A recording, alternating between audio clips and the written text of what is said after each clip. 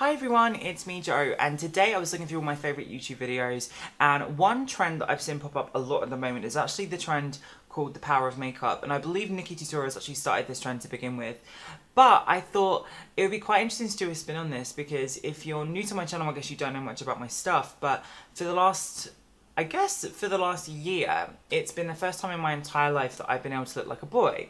So I kind of grew up always being mistaken for a girl, and that's since I was like very small. Even when I was a baby, they thought I was a girl. That's what my mum's always told me.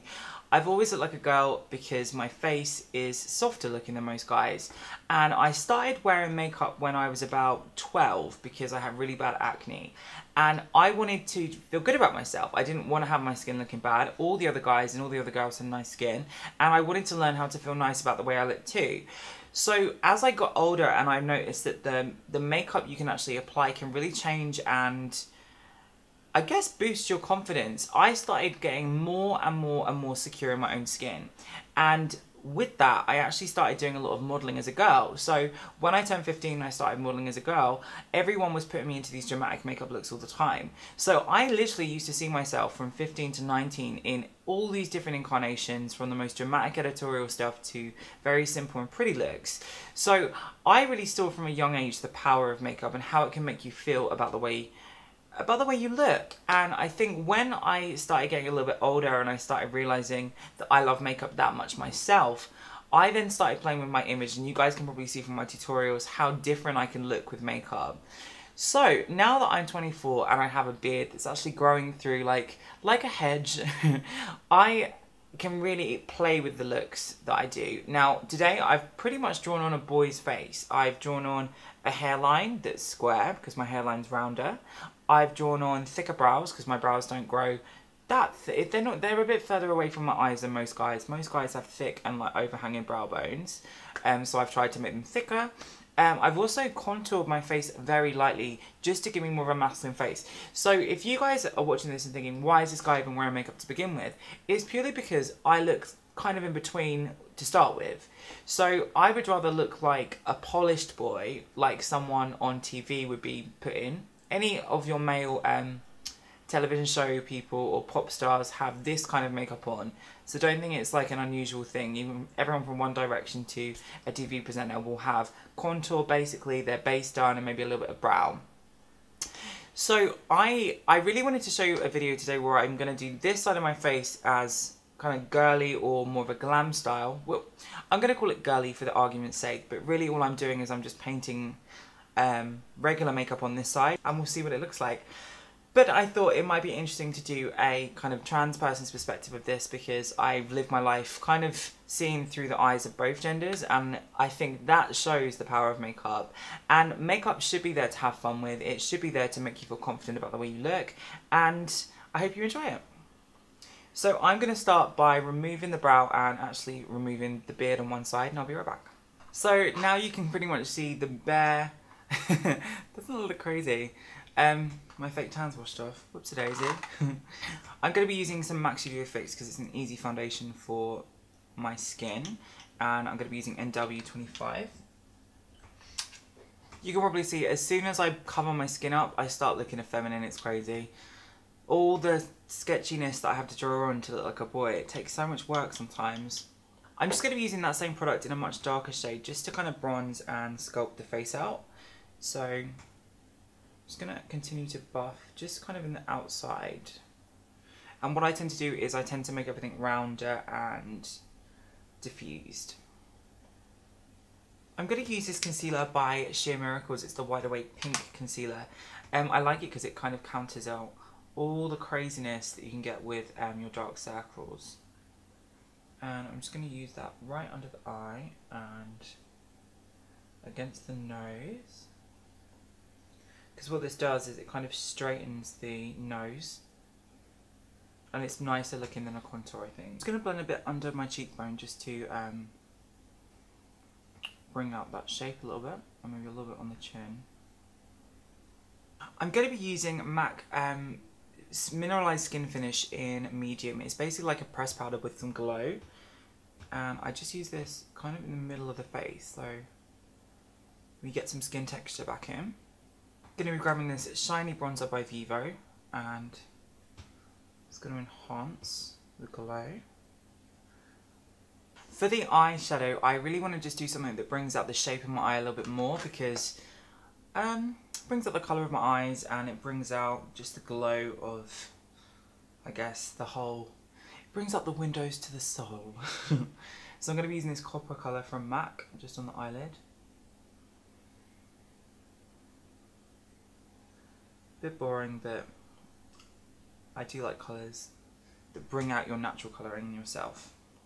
I'm going to be taking a slightly darker matte colour, this one. That's the one I just used. And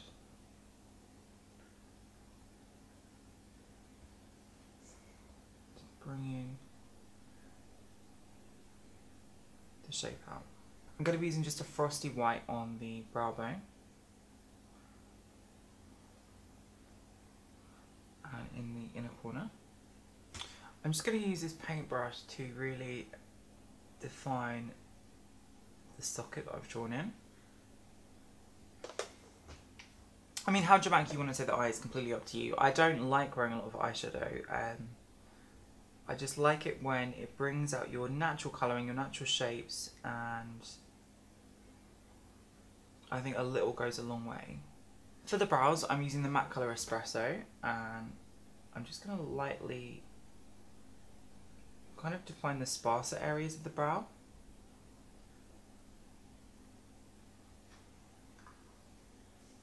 You can see the immediate difference in shape between this side and this side. um, it's coming together. I'm going to use this liner by um, L'Oreal, it's a super liner, and I'm just going to use this to just delicately line the lower lashes.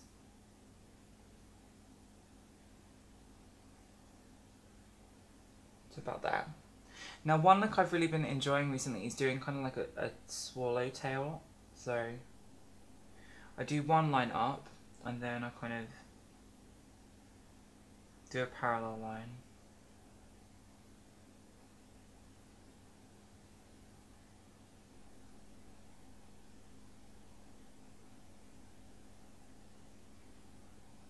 For the lips, I'm going to be using Gorgeous Cosmetics liner in Is that the name? And I'm just going to start to define. I'm going to be using OCC Lip Tar in Memento, which is one of my favourites. I love this colour. Just in my finger, I'm going to just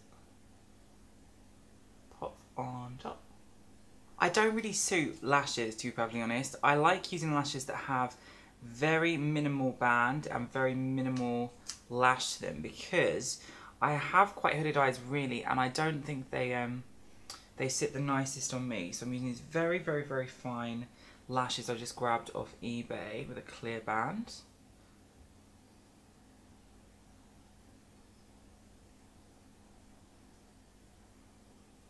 So while they're actually drying and the glue is turning clear, I'm going to be using this amazing Code Volume mascara. It's um, definitely one of my faves. Now, if you're going to use like dramatic lashes, you obviously blacken your own lashes out first, but I want these ones to really combine with my natural lashes, so it's not as important to do that because I want them all to form together. Now, I always like to um, build up layers of mascara. I'm going to be using this colour by Vivo, it's called Cinnamon Glow and it's kind of like a glowy gorgeous. That colour. kind of works. So this is pretty much the difference in makeup style that I wear. Obviously the main difference being I have a beard on one side. Um, which completely transforms my face, thank God, because now it gives me the option so I can actually look like this. But this side's just as it's just as fun to do. I don't have any preference really.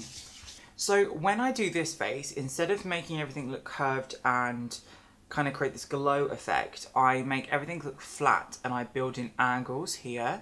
I also don't make everything look as small and as open. So with this side, I make the brows look thicker, so it's heavier in the eye area, which is more masculine. And I don't do anything to the main features like eyeshadow and lipstick and things. Let me throw on a wig and I'll be right back. So I actually made this wig. This is just with some Peruvian um, Here I've got a tutorial about that. But you can probably see the effect of this side versus this side. That's a bit wiggy. and the real power of makeup.